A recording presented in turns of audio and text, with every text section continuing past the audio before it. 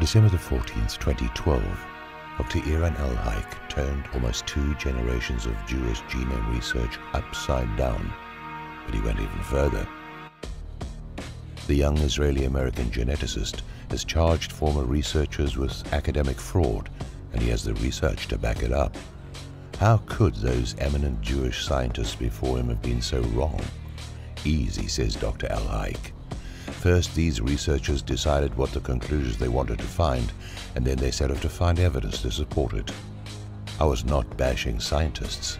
What El Elhaik has described as full-on fraud. But why? Why would Jews who take such pride in their academic achievement risk exposing themselves to a group deception which was bound to be discovered sooner or later? Dr. El Elhaik does not delve into the quicksand of the politics, but I will gladly do so. They perpetrated the fraud solely to support the bogus biblical claim to Palestine, which was anchored in their being a separate people. This distinguished them from all others because they claimed a land title in their blood. They bet the farm on this DNA proof of purchase, a God-given bar-coded passport to Palestine. Dr. Elhaik just erased the barcode. It was just stamped on anyway because it was never in the blood. Why? Why did they do it? The second half of the answer not revealed in his research was that you had a bunch of atheist communist Jews shoot their way into taking over the land with the sole moral cover that God gave it to us only. Before I had a bookcase of Judaica in my library, I must say I was a bit suspicious of these atheist Jews whipping out God's dual land title and passport. It was propaganda, of course. It always was. And the story for another day is why did an entire academic community, who should have known better, cower down and debase themselves and their own community by allowing the fraud to not only be burst, but continued? Arthur Koestler's The Thirteenth Tribe was a major influence in cracking the fraud. It was published in the day when Zionist propagandists were savvy in not attacking an esteemed Jewish author. They had no fear from the academic community, already neutralized, and Koestler's book did not generate a moral tipping point challenge to the Zionist false claim on the land. Dr. Elhaik literally nails the fraudsters to the cross.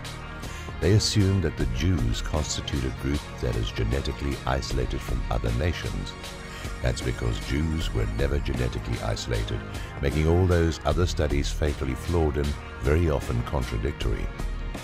I was wondering what weapon of mass destruction that the Jewish lobby bullies would unleash upon a young Israeli-American geneticist. I expected to be reading about Alan Dershowitz denouncing him as a self-hating Jew, when actually that is what Dershowitz is. He and Abe Foxman compete for the most negative Jewish stereotype bully competition award annually. But there has been no attack.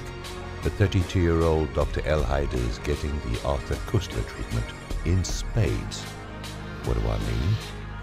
Well, his research paper was published by the Oxford University Press in the prestigious journal Genome Biology and Evolution.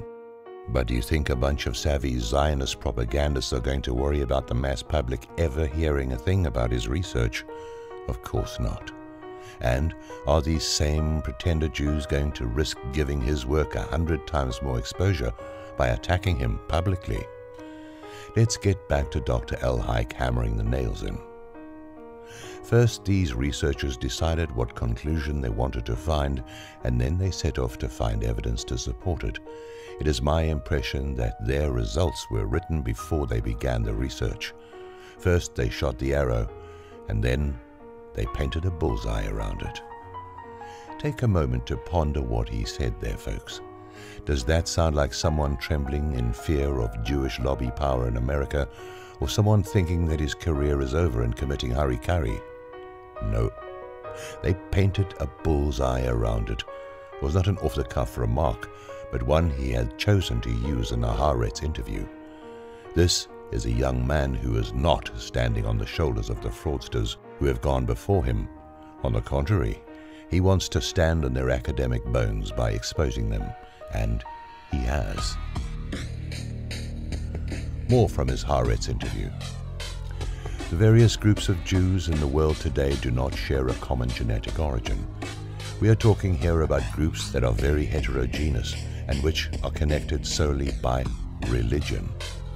The genome of European Jews is a mosaic of ancient peoples and its origin is largely Khazar.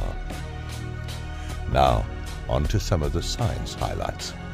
Dr. Elhaik's research shows that the dominant element in the genetic makeup of European Jews is Khazar.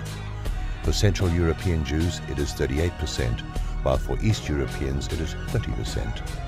To that, you can add his findings that in both groups, their genome is mostly Western European. Surprise, surprise. The Roman Empire is the dominant lineage there. Those that settled on the frontier, like retired soldiers, and the locals with whom they produced families. There were some Jewish merchants there, as Elhaik did find some Middle Eastern roots, which he suspects are Mesopotamian, and a bit of biblical Israel. But here comes the slam dunk. The Israel connection is such a tiny part of their overall genome that it cancels out their DNA title claim to the land. The good doctor would not wander into the swamp, but I will, by calling a spade a spade. What Dr. Elhaik has discovered, folks, is a reversed Holocaust, the inventing of huge numbers of pseudo-Jews who have no more a blood claim to the land of Palestine than I do, even if I converted. What I have just stated in no way challenges a religious or cultural affiliation. But, as we all know, most Jews are not religious, including in Israel, where way more than most are not. Subtracting that, then all you have is the tribe, the DNA, which unites them to a shared history of persecution.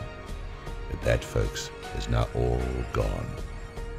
Poof gone. Who among you does not have some genetic makeup of a people who had suffered in ancient times, even numbers of different people, five or ten different ones?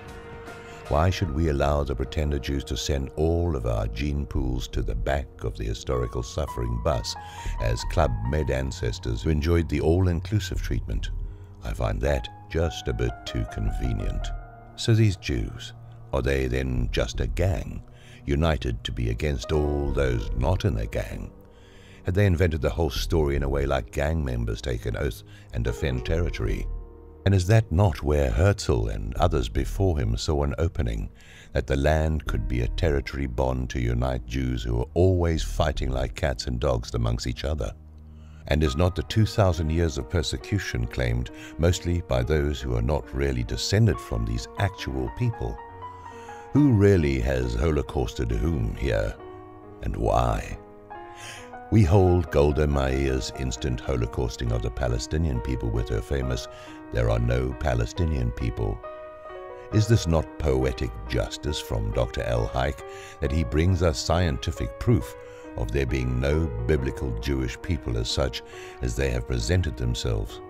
And does this not also make a fraud of the historical anti-Semite smear by a people who aren't even Semites.